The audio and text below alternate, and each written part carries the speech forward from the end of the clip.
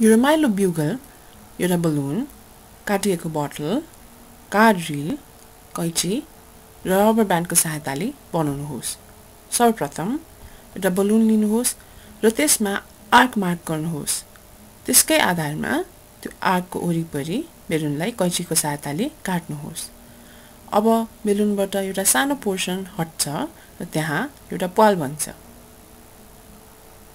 अब एक लिटरको प्लास्टिकको बोतल टुप्पोबाट दस सेन्टिमिटर तल काट्नुहोस्। यसो गरेपछि यो फनेल जस्तो हुन जान्छ। अब अघि बनेको पाललाई समातेर सो बेलुन बोतलको मुखको वरिपरि बेर्नुहोस् र त्यसलाई एउटा रबर ब्यान्डले बाँधिदिनुहोस्। यसो गरेपछि एउटा स्टेफ कार्ड रिल लिनुहोस् र तपाईँले त्यसलाई प्लास्टिकको पाइपले पनि फेर्न सक्नुहुनेछ। र अब बेलुनको मुखमा त्यो रबर ब्यान्डको सहायताले त्यो कार्ड रिललाई जोडिदिनुहोस्। अब तपाईँको ब्युगल तयार भयो।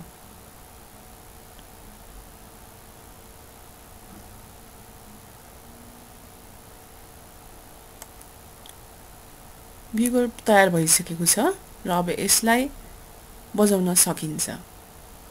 अब रिलको छेउलाई एक छेउलाई आफ्नो मुखमा राख्नुहोस् र बिस्कन फुक्नुहोस् तपाईँले एउटा ठुलो साउन्ड सुन्नुहुनेछ